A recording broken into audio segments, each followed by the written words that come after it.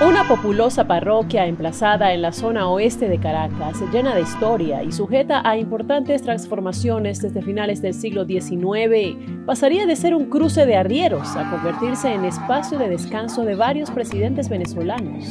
Era el destino favorito de la clase privilegiada, bañada por los afluentes de aguas cristalinas del río Guaire. Guzmán Blanco se enamoró de este lugar, donde compró 14 terrenos y construyó allí su residencia de campo, lo que para muchos sería la pequeña Versalles del ilustre.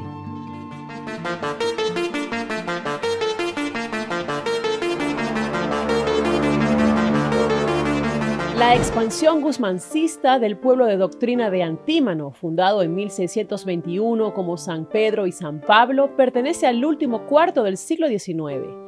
Para ese entonces, Caracas era apenas una cuadrícula cuyos límites occidentales no superaban al Parque El Calvario, y Antímano era considerado un pueblo en la proximidad de la capital, de clima fresco y muy agradable, donde abundaban los árboles frutales y sus pobladores se dedicaban a la agricultura. En aquellos años, su casco histórico estaba compuesto por dos zonas, el antiguo pueblo de indios, localizado en el cerro, con un trazado semirregular, y el ensanche urbano, localizado en la planicie entre el río Guaire y el cerro, que fue parcialmente construido durante el guzmancismo, y está conformado por vías rectas desarrolladas a lo largo de la calle Real, en la que destacan al este la iglesia de Nuestra Señora del Rosario, cuya estructura está inspirada en la gran iglesia de la Magdalena de París. En el centro, la Plaza Bolívar. Y lo que nos trae a esta historia, la casona campestre de Antonio Guzmán Blanco, ubicada al oeste, declarada Patrimonio Arquitectónico de la Nación. La Guzmania fue una de las casas del presidente venezolano Antonio Guzmán Blanco, líder militar, estadista, diplomático y político. Presidió Venezuela durante tres mandatos separados, quien decidió en 1880 establecer allí su lugar de veraneo y descanso. Esta no era una de sus moradas favoritas por simple capricho. Sus aires y aguas gozaban fama de ser los más puros que se hallaban en el Valle de Caracas. Además, tenía una ubicación importante, pues era la entrada de los teques a Caracas y tránsito de la actividad comercial para el momento.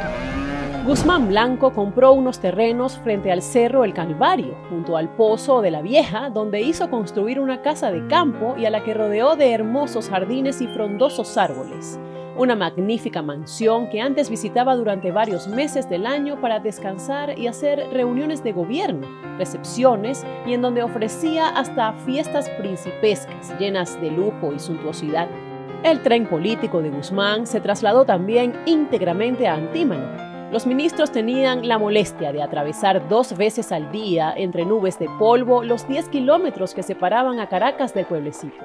Fijada la pauta por el ilustre americano, nadie se atrevió a discutirla. Como dicen por allí, Guzmán Blanco puso de moda el pueblo de Antímano, tanto así que influenció a numerosas familias adineradas o con cargos políticos a establecer ahí sus residencias de descanso, entre ellas figuras como Juan Pablo Rojas Paul, Raimundo Anduesa Palacio y el general Manuel Antonio Matos. Guzmán Blanco, de gustos afrancesados, quiso hacer de este lugar un pequeño Versalles venezolano. Por eso, con motivo del centenario del nacimiento del Libertador, remodeló Antímano. Sus calles, bulevares, fuentes públicas, todo de un ambiente francés muy a gusto del caudillo, transformando así un pueblo pobre en una villa de hermosas y elegantes casas. También el pueblo quedó unido a Caracas con la instalación del Gran Ferrocarril Venezuela, otra de las grandes obras de su gobierno, teniendo una parada muy cerca de esta hermosa casa de su propiedad.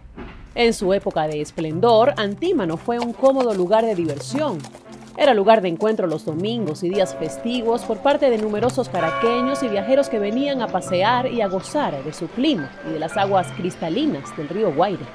La Guzmania fue diseñada bajo las líneas o estilos de la arquitectura europea. Comprende dos niveles. Sus jardines se extendían hasta las riberas del Guaire. Esta estructura fue construida con piedra, ladrillos, tapia y bareque, con techos de caña amarga, madera y tejas de arcilla. Esta residencia se prestó admirablemente para fiestas y banquetes, con amplios balcones, ventanales y corredores, rodeada de hermosos parques, entonces iluminados a gas y con linternas chinas. Se dice que criados, muebles, cocinas, todo allí era una semblanza de Francia.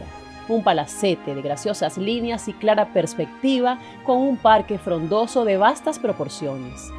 También se habla de túneles secretos en el sótano, con rumbos desconocidos, pero ya obstruidos. Los muebles que exhibe hoy en día son piezas alusivas a la época, aunque no son originales de la casa. Sin embargo, llama la atención que la silla presidencial usada por Antonio Guzmán Blanco, que sí es original, fue traída a este lugar por parte del Archivo Histórico de la Nación del Palacio de Miraflores. En esta casona de pulidos pisos de madera se detuvo toda la clase alta de Caracas y dignatarios extranjeros, donde acudían a prestar alabanza a quien fuese considerado el gran arquitecto de Venezuela. Al investigar un poco más sobre esta casa presidencial, hallamos inventarios de algunos muebles. Obtuvimos un pequeño resumen de las cosas que para 1892 todavía existían en la propiedad y detalles de su estructura inicial, que difiere un poco de la actual. Según los documentos, había ocho habitaciones superiores, de las cuales una pudo ser el despacho del mandatario y en donde resalta una pintura al óleo de un ferrocarril. Imaginamos alusivo al gran ferrocarril Venezuela. También un gran comedor de varias mesas con 24 sillas, propicio para comer con su numerosa familia. Muchas pinturas engalanaban la casa. Solo entre el patio del centro y los corredores laterales existían al menos 18 cuadros lo que nos trae a un dato curioso sobre el general y la palabra corotos. Según una anécdota popular que se remonta a la época de Guzmán Blanco y a su colección de pinturas del artista francés Jean-Baptiste Corot, se cuenta que los cuadros eran de las posesiones más preciadas del presidente y que durante sus numerosas mudanzas solía pedir al servicio que tuviera cuidado con los corots. Las criadas empezaron a burlarse de los corotos del general y la expresión se extendió a los objetos más diversos. Si bien es muy divertido, en este pasaje no está el verdadero origen de nuestra hoy coloquial expresión, la cual se encuentra registrada a lo largo de la literatura venezolana, aunque refiriéndose a un vocablo indígena. Y si hablamos de sus gustos refinados, otro sorprendente hallazgo fue conocer que Antonio Guzmán Blanco fue el primero de los presidentes de Venezuela en utilizar el escudo nacional en sus servicios de mesa lo que era toda una novedad para la época. Estas vajillas de porcelana fueron adquiridas alrededor de 1880 en un conocido comercio de París. Su monograma gótico, hecho en oro y finísimos filetes rojos, está considerada la pieza más emblemática de los platos presidenciales venezolanos.